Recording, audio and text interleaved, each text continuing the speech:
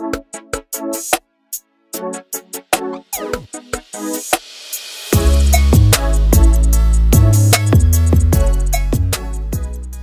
Krishna, welcome to the Dham Good Podcast, your favorite Hare Krishna lifestyle podcast. I am your host, Prema Rupa. As you can see, if you're watching uh, the video version, I am alone today. Um, yeah, I usually have a partner with me, um, but it's that time of the year in Mayapur where everyone is super busy. But a lot of you have been asking me, Prema, what's going on with the podcast? I haven't seen an episode of the podcast lately and did a poll on Instagram and I was like, would it be okay if I just shot this alone? And I got a lot of responses that was like, yeah, why not? So I'm just here to check in with all of you um, and just let you know I'm alive and well. I would love to continue the podcast. I think what we have is very unique here um, because we're just straight up nonsense, prajalpa, regular devotees talking about life and whatever. And um, I want to do that with you and hang out with you and um, just have a very chill, low key time. Um, just talking about my poor life, Dham life, devotee life, life life, whatever. So, glad to check in with all of you again. Uh, also, I don't know if you stay till the end of the podcast, but um, I do try to feature a Harinam that went on somewhere in the world every week. So if you went on Harinam and you've got like a, a minute or two of a recording of that Harinam, tag me in it, send it to me in the DMs. You can check out my email below and send it to me in the email. I'd love to feature it at the end of um, a podcast. Um, and let other people see what you've been up to. And a Harinam could have 100 people, 10 people, you and a couple friends under a tree. It could be you alone with a pair of kartals, whatever it is, that it's a Harinam. So please, if you if you've been in a Harinam recently this week, send it to me. Let us all see.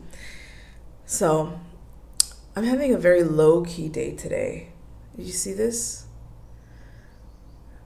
I'm just like I've got my glasses on. I've got my hair in two ponytails. In my mind, I'm like, oh my god, I'm gonna look so cute in ponytails. I feel like I look ridiculous. But I'm just like, you know what? When you start it, you just you just go with it. You just you just go with it.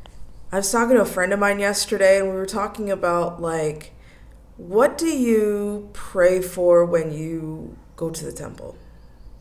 And i'd love to hear what you guys think. If you could leave me a comment and just tell me what do you pray for? And really like what do you pray for? Like really because I know like devotees are supposed to pray for devotional service, right? And I was like, what do you pray for? And he was like, purification and Guru Seva. I was like, okay. Like, I don't pray for eh, anything like that.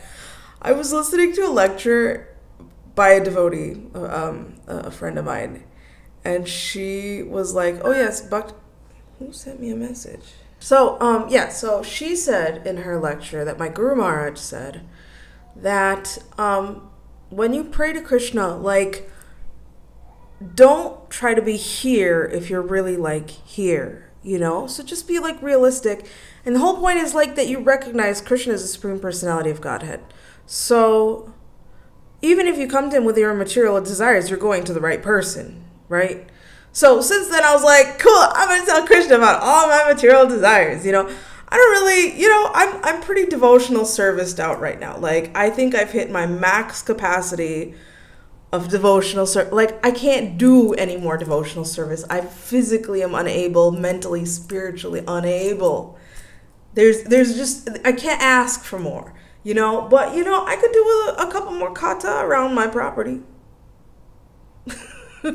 you know, like pray for the well-being of my daughter and hope you know she grows up well and whatever. Like, or uh, you know, like recently a friend of mine isn't doing very well. I I pray for her every day um, that she becomes better things like that. Or sometimes I just go and see Radhamad and be like, hey, how's it going? You look good today. I like this. I like this. I like this. I like this. You looking good. See you later. you know, and then there's people next to me, they're like crying. They're like, Bhagavan. like, I'm like, hey, Krishna, you looking really nice today. I am a mess. So I'd love to know. I mean, if it's it's if it's like a tip top deep secret, you don't have to tell me. Please leave me a comment. Leave me a comment. Tell me what do you pray for when you see Roundabout about because I really like. Oh my god, I love your flower basket today. Oh my god, I love your garland today. Look at how they did your turban today. You're looking so good. Oh my god, blah blah blah blah. Or sometimes I'm like, you know, Krishna, I just need to lose 20 pounds. so that was my hot take. What do you pray for? Um, now let's move on to sage advice on Instagram. I asked if you had any questions for me that I could answer here on my podcast, and here's just a couple questions you all sent me. So at the time, I was preparing to do my very first dance. As you know, as you may not know, I uh, actually have been learning Odissi since 2018, off off and on, and uh, I really committed myself to it um, this year. And uh, I did my first dance like a couple months ago.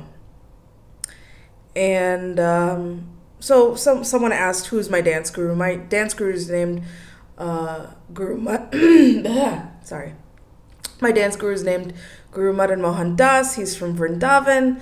Uh, his guru is named Guru Pratap Narayan Mishra and also Guru Ma Kunjalatsa Mishra, uh, both very well known in the dance community in Vrindavan. Like so many people I know have, have learned Odissi dance from them. So very, very expert. And uh, Madan Mohan Prabhu has been a dancer for like almost almost 30 years, maybe like 25 years.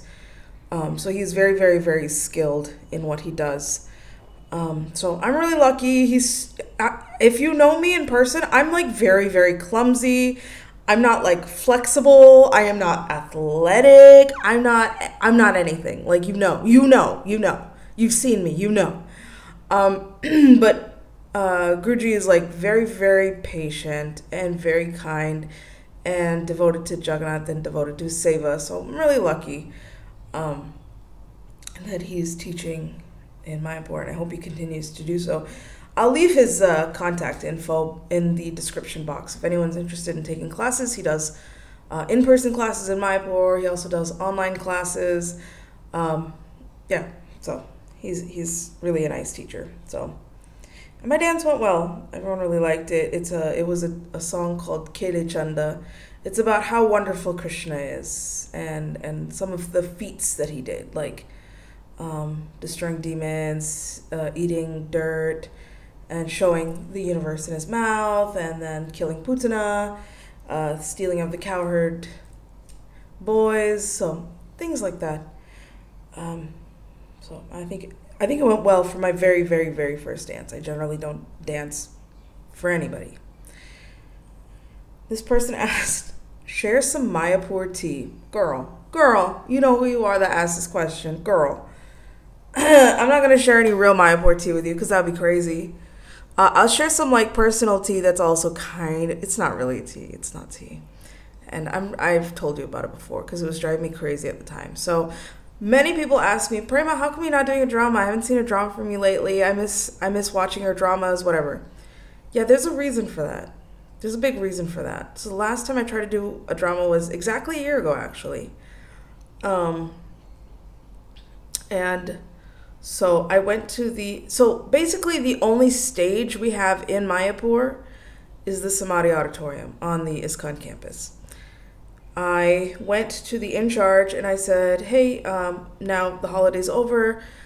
I, me and some devotees, we want to do a drama just for the community we're not you know we don't you know i've known this person like 10 years you know we're good friends i know his daughter blah blah blah i was like i mean we're not good friends but i mean friendly terms okay anyways so i was like can we use the samadhi auditorium for rehearsal and um, for the performance and he says it's 500 rupees per day and i have to give a 10000 rupee deposit in advance if I want to use it. Non refundable. And I got the shock of my life. I said, but this is um th- this is just for the community. It's it's for fun. It's not like a personal thing I'm doing here, you know? I'm not charging tickets. Like if you know my dramas, I, I just ask for donations but um, it's free. Anybody can come and and watch it um, and enjoy themselves. It's just a fun thing to do with the, for the community. And he insisted no, because you know the samadhi is a lot of upkeep now, and to maintain it, uh, he has to start asking a fee. And it just like left such a sour taste in my mouth. Like here, I'm doing a seva for the community. I don't get anything out of this, you know. I I mean, I get the satisfaction of doing seva for the community, and that's it but like I don't get money or fame. In fact, like doing the costumes and all that stuff, like that costs money. And sometimes I don't get enough donations in and I have to pay out of my own pocket. And I'm okay with that. I don't it's, it's not an impediment for me, you know? I just want to do something for the community, for for the young people, for my friends, for you know, just to get together. It gives the community a reason to get together and enjoy an experience together. So it just left such a sour taste in my mouth. Eventually, like, then somebody, like someone on my team, contacted a member of management and then they had to talk to him. And then he was like, fine, they can use the Samadhi for free, but whatever donations they get, they have to give a donation to the Samadhi, which I was always doing anyways so again, it was like, it just, it was just like not, it was not nice. It was not nice. And it left me like just fuming. And I wish if somebody could give me like a good plot of land, I will find the funds and I will build my own theater so that community members can come and just like enjoy a show. I'll put a movie theater and like you people local people who want to make a movie a little five minutes whatever however long they can come they can put their little movie up and then i'll put like classrooms on the next floor so like if you want to take a dance class or an acting class or whatever there's classrooms there for you you can go and take some classes with like big mirrors and aids like i want to do something like nice you know but property here is expensive but i could if i got land i could build that I could build that. I'd love to do something like that for the community. That's kind of that's one of my goals one day. That's that's one of the things I asked Krishna for. I'm like, Krishna, if you just give me a plot of land, I'll make you a theater. So that was that really, really, really bothered me. Um, the, they just didn't want to let us use the Samadhi Auditorium. And let me tell you, it's not like the Samadhi Auditorium is always booked either. Like half the year is just like collecting bats and rats. And I'm not being like I'm not I'm not like exaggerating on the bats and rats. Like there was many times I've come in that Samadhi auditorium and there's like bats and rats. Like dead ones, living ones all over. Anyone who's been there, they know. So that that's tea on that. So then, like, not long after that, like, summer passed, and then there was the Sakhi's appearance days, right? And I pushed myself and made myself an opportunity to have some performances for each of their appearance days, which was so fun, and everyone loved it. It was a great community um, program, and the deities loved it, I feel. Um, Jananivas Prabhu loved it.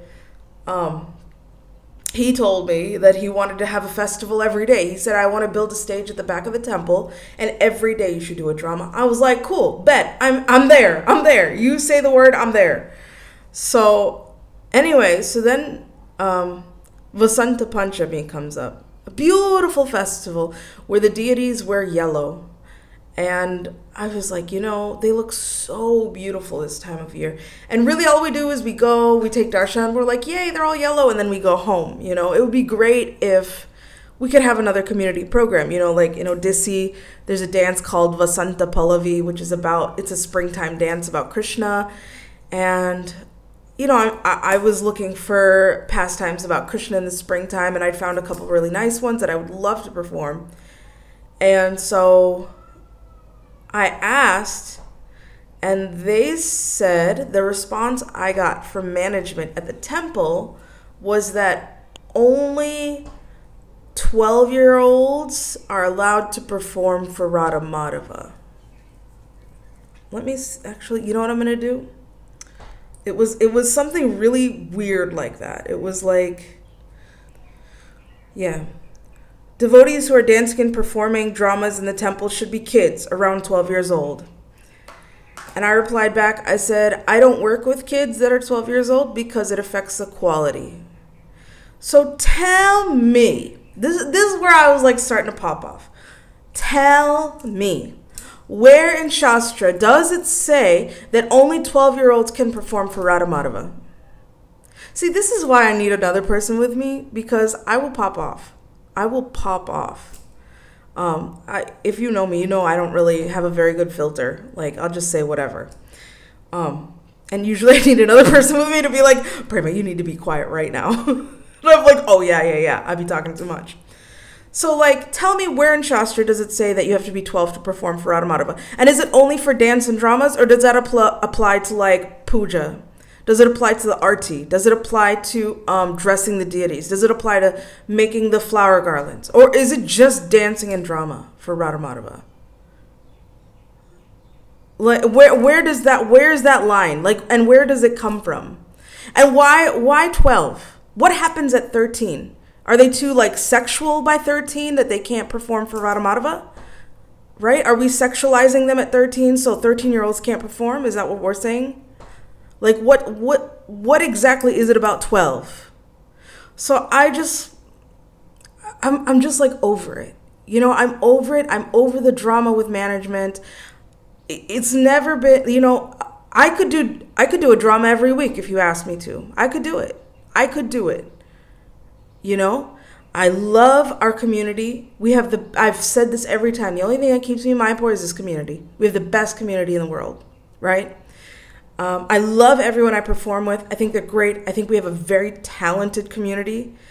Um, but it's like this management BS. I can't, I can't keep doing it anymore. I'm, I'm, I'm too tired, you know, to deal with management so that that's that's tea. That's the tea. Um, as to why I'm not really uh, doing dramas anymore.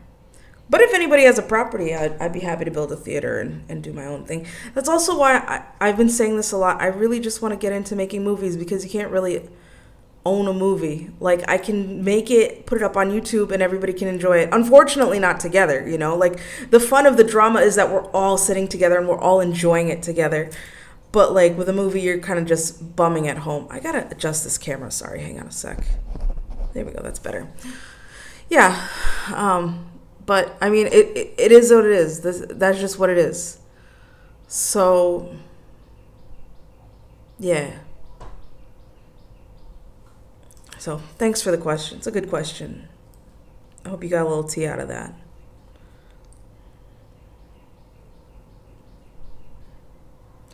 So this person said, due to some ongoing problems in life and a difficult financial situation, out of frustration and stress, I made a mistake. Ooh. When I used to be hungry and didn't have money to spend on fancy places, I would eat from a local stall and the food had garlic. What can I do for atonement? Okay, thank you for this question, um, and thank you for being so personal. Um, I know it's not easy um, to be so vulnerable. This person asked it anonymously, so I don't actually know this person. Um, so my answer could vary depending on who it is, how old they are. Um, so, first of all, sorry you're having problems in your life and you're having some difficult financial situations. I know stuff like that is not easy. Um, let me answer your question what to do for atonement.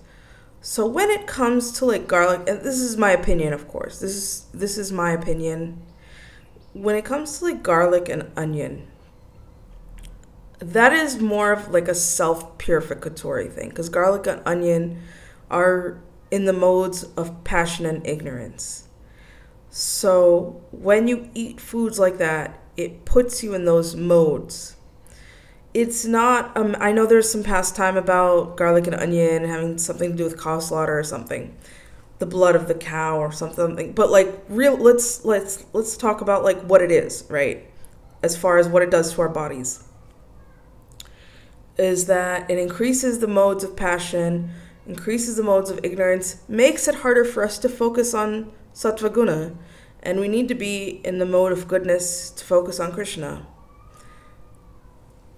So, you know, it makes our spiritual life better.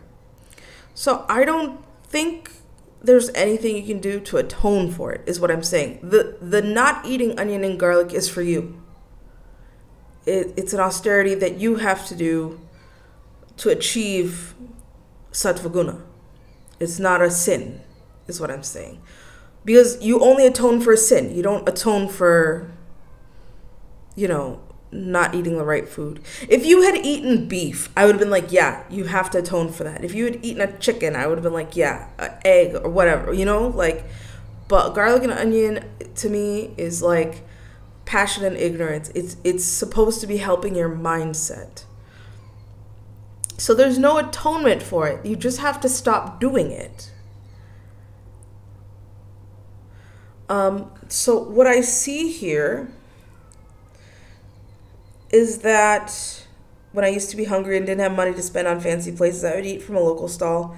And the food had garlic. So the first thing is is you're acting impulsively. I see that you're um hungry already and then you're eating at some food stall instead of nourishing yourself or eating somewhere somewhere fancy, I think is what you wrote. Um, and, and I guess my question is is like, why do you have to eat out? Um, most devotees do not eat from public places. Most devotees will cook at home, eat at home, or eat from reliable places like the temple or, you know, an ISKCON restaurant or even like there's Gaudiya. I believe Gaudiya also follows the no onion, no garlic thing. They do. Yeah, they do. Um, so find places that has like cheap prasadam available for you. There must be some local temple restaurant that does no onion, no garlic, and it's usually relatively a, a fair price.